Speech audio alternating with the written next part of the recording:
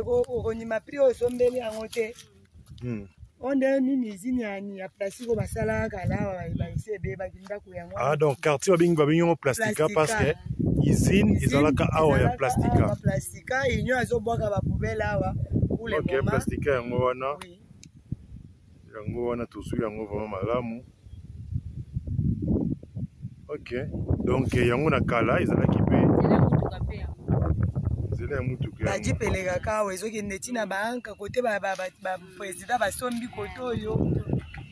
donc kote oyo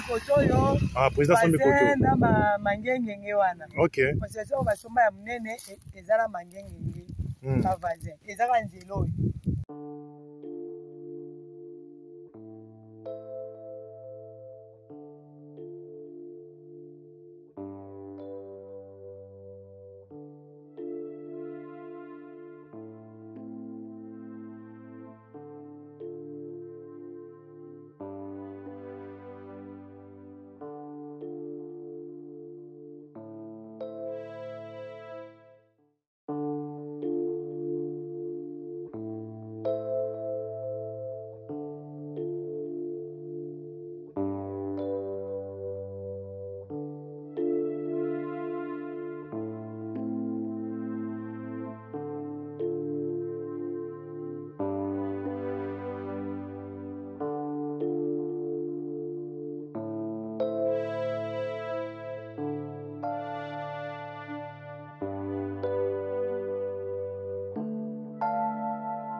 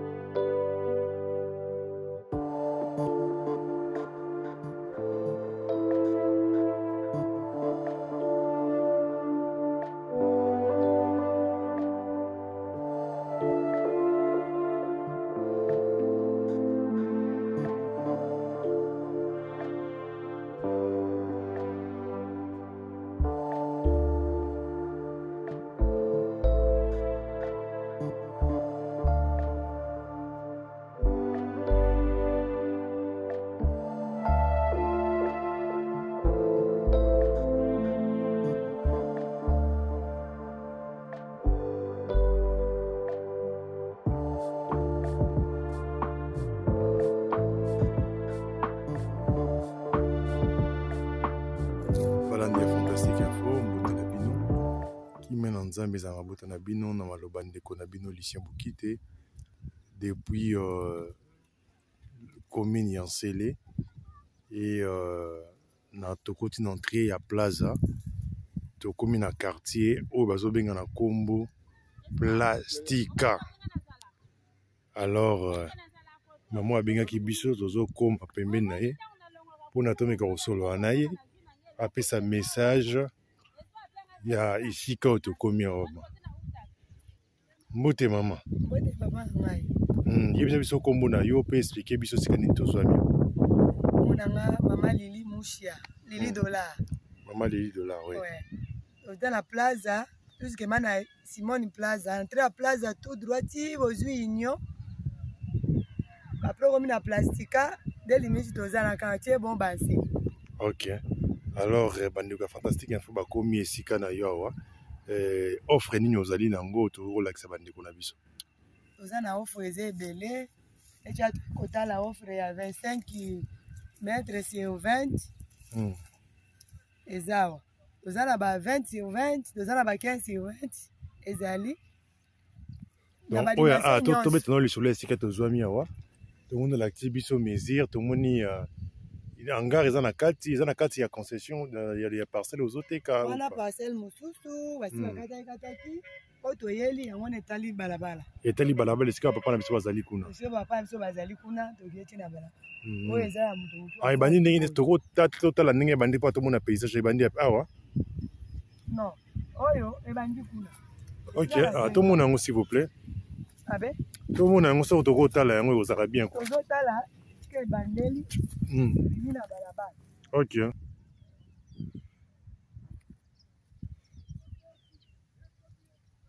bandi awa na boye eza 20 mètre donc na ndenge ya molai boye na largeur na longueur eza 25 mètre hmm.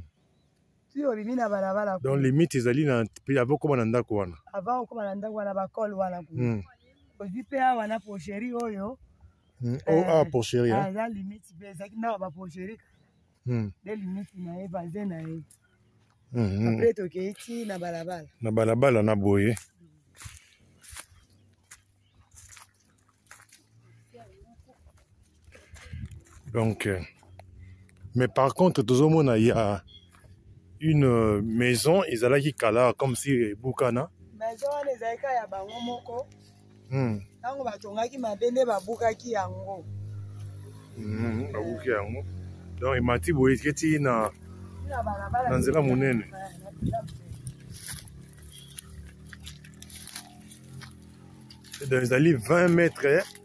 sur 25 eza monene hein? donc tiao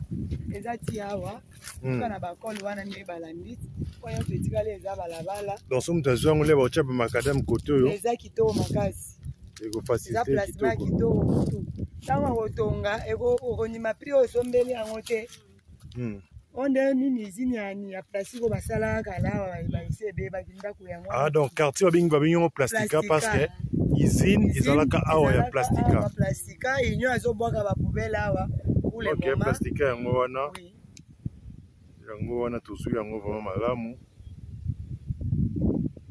ok donc yango na kala ezalaki mpe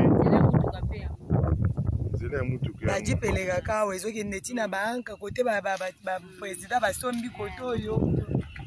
donc kote oyo ah, président asombi kote oyo mangengenge wana ok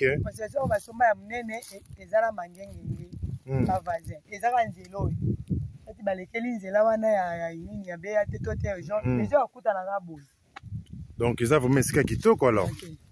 eza esika kitoko donc soki makadame elobi nzambe asungi Mm, na baprojet moto azalaka na makadame awa ya vie mpe ya kitoko kuna ozomona Olingi kokende oluka kuna siko esika ezali ya kolya kuna ozomona na se kuna kuna eza eza ba- ba- mapango ya bato mama ziba ya bato ti na kati kuna soki ba quartier yango eza nini bon kuna kuna ngambo kuna eh, ngambo kuna vraiment na mosika na omona kuna nazomona batola jaune kuna eza marana bamozitu esangami kinkole mpe ezomonaka nde totelemi boye kinkole aza boye eh. kuna marana okomoki ah. wana nzela ya nsele okomoki eh, na nzela voilà. à partir ya bapoto wana kuna na prince parce que paysage ya kitoko vraiment ezo paysage ya kitoko ezomonana kuna so tobendi yango vraiment ezolakisa biso nzela ya bandundu emonanaka wana voilà nde bato batongi deja bandako ozomona ndenge ba Eh, nini oka poto ya inga hmm. ti ndenge eya boye yango wana ekei ti hmm. donc ezaka bavase so otali boye na nsima plastika okomona bibwa mangengenge kapem ok eza na karte na place moko ya kitoko alors alors mpona ya prix na yango ezali ndenge nini mama lili prix na yango hmm. kolo na yango koma aza na problème eza place ya kitoko me atali kitoko na yango te hmm. apesi prix na ya suka 6000 bapesi prix na ye 6000 eza likambo ya kosolola kaka na kolo na yango ok osola na kolo na yango ok nkolo na yango azali aza na ye joignable soki euh, moto aza na posa ye amoni yo kolakisa ye aza facile aza mosika na biso to esala ndenge mpo na kozwa ye koma teke aza na poto te